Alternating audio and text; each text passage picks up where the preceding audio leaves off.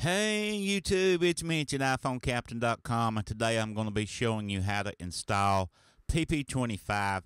This is something like vShare. Uh, what this does, it installs free apps on your device. I should say free paid apps.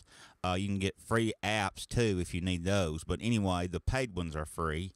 And it's, uh, like I said, much like vShare, uh, the great thing about PP25 is the apps that are installed don't you don't have to worry about them getting revoked. So I do recommend you use this one and PP25 does have several apps that's not in vShare. However, I will have a vShare uh, tutorial up in the next few days so you can be looking for that as well. So I'll have a link for in the description below that you need to go to to download this. It's only available on Windows machine. So that's one drawback. And I had to go to uh, my mother's house to use her Windows computer.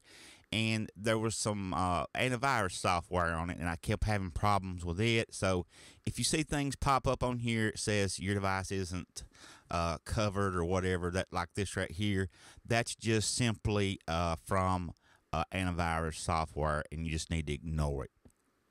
Okay, so let's go ahead and jump into this. Uh, go ahead and click that link below and start your download process. Once you get your download process started, uh, it will pretty much walk you through it, but you need to know where to click because this is in some kind of foreign language. Uh, after you get your uh, PP25 link uh, installed, or I should say the uh, the setup on your desktop icon installed, you want to double click that and it will open up this little box It looks something like the one you see here. And you need to make sure from this point on that you have your device connected and you need to be sure and you click that little P that little blue P in the middle of the screen to start the process.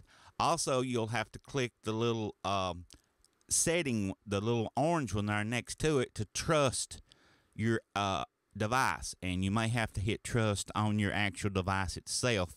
So make sure that it, there's no pop-ups on there. And you have to authorize i think that that settings icon what it does it authorizes a machine or something. So it's a little bit hard to understand this but once you get it installed everything's done from the device it's super simple to use and the process will take a little while and you'll think it's finished and right at the end it'll it, you'll think it's just sitting sitting there running and running and running and it's never going to stop but it will eventually stop trust me um, and once it does stop then and only then uh, are you uh, ready to go on to the next step? So don't rush things. Just keep it, you know, just keep things uh, like, like I'm telling you to do here. But anyway, after it finishes installing the the uh, setup software, I guess we could call it, on your on your machine, then you're going to double click the blue P. Okay, I know I've already told you this, but we're going to do it again double click the blue P in the center of the screen that you see there.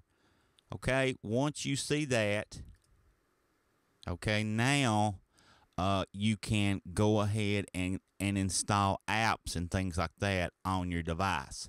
So it's uh, it just takes a little while to set it up. I think, you know, once you get it installed, you'll really enjoy it.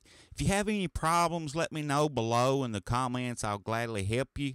And as always, if you aren't a subscriber, hit that subscribe button, share this, and keep coming back.